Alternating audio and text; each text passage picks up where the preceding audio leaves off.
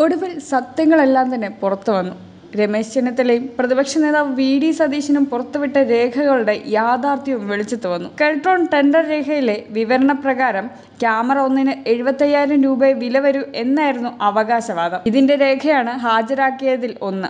എന്നാൽ ഈ രേഖകൾ പ്രകാരമുള്ള എട്ട് ക്യാമറ മാത്രമാണ് ഇൻസ്റ്റാൾ ചെയ്തത്. ഈ ക്യാമറകൾ നിർമ്മിത ബുദ്ധി സംവിധാനത്തിലല്ല പ്രവർത്തിക്കുന്നത്. ചെന്നിത്തലയുടെ അഭിപ്രായപ്രകാരം എഴുപത്തി അയ്യായിരം രൂപയ്ക്ക് എ ഐ ക്യാമറ നിർമ്മിക്കുന്ന കമ്പനികൾ ഉണ്ടെങ്കിൽ അവർ എന്തേ ടെൻഡറിൽ പങ്കെടുക്കുന്നില്ല എന്ന ചോദ്യം പ്രശസ്തമാണ്. ആദ്യം ക്യാമറ ഒന്നിന് മുപ്പത് ലക്ഷം എന്നായിരുന്നു പ്രതിപക്ഷ ആരോപണം. അത് ശരിയല്ലെന്ന് വ്യക്തമായ ശേഷവും നുണപ്രചാരണം തുടർന്നു.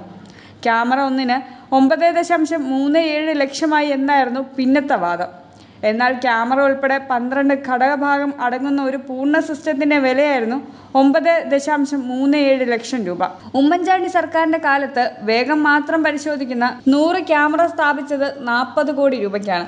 ചെന്നിത്തഴയുടെ കണക്ക് ശരിയാണെങ്കിൽ അന്ന് ക്യാമറ ഒന്നിന് നാൽപ്പത് ലക്ഷമാണ് ചെലവ്. S R I T Presadio Light Master എന്നീ കമ്പനികൾ ഉണ്ടാക്കിയ കരാർ തുടർന്ന് പ്രസാഡിയോ ലൈറ്റ് മാസ്റ്റർ എന്നിവർ ഉണ്ടാക്കിയ കരാർ ലൈറ്റ് മാസ്റ്റർ കമ്പനിക്ക് S R S R I T നൽകിയ പർച്ചേസ് ഓർഡർ കോപ്പി എന്നിവയാണ് ചെന്നിത്തല പിന്നീട് പുറത്തുവിട്ടത്.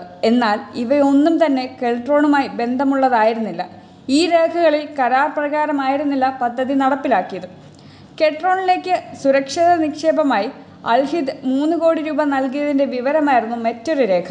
എന്നാൽ നിക്ഷേപത്തിലെ ഒരു വിഹിതമായ മൂന്ന് കോടി രൂപയുടെ ഡി ഡി കെൽട്രോണിന് നൽകിയത് എസ് ആർ ഐ ടിയുടെ കവറിംഗ് ലൈറ്ററോടെയായിരുന്നു സേഫ് കേരള പദ്ധതിയുമായി ബന്ധപ്പെട്ട എല്ലാ കരാർ വിവരങ്ങളും രേഖകളും കെൽട്രോൺ തന്നെ വെബ്സൈറ്റിൽ പ്രസിദ്ധീകരിച്ചിട്ടുമുണ്ട്.